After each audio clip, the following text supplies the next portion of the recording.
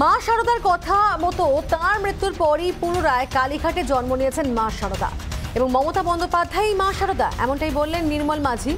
বাঁকুড়ার একটি অনুষ্ঠানে তিনি যোগ দিয়েছিলেন এবং সেখান থেকে এই বক্তব্য রাখেন নির্মল মাঝি। এমনটা দাবি করেন তিনি। মা শারদার কথা মতো তার মৃত্যুর পরই পুনরায় কালীঘাটে জন্ম নিয়েছেন মা শারদা এবং মমতা বন্দ্যোপাধ্যায় হচ্ছেন মা শারদা এমনটাই বললেন নির্মল মাঝি।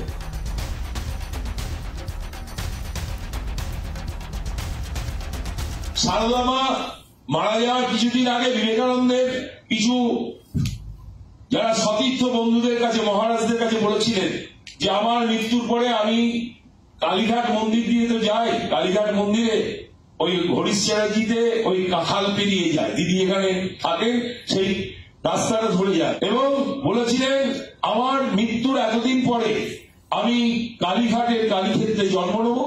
মনুষ্য জন্ম নেব এবং আমি ত্যাগ বিদীক্ষা সামাজিক কর্মকাণ্ডের সঙ্গে রাজনৈতিক কর্মকাণ্ড জড়িয়ে যাব।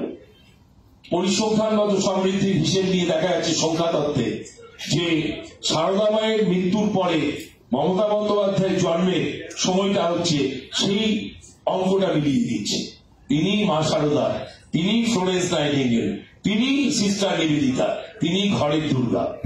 অষ্টমী, নবমী সন্ধিক্ষণে যার জন্ম হয় নবরূপে উন্মোচিত হন যুগে যুগে দেশে দেশে কালে কালে।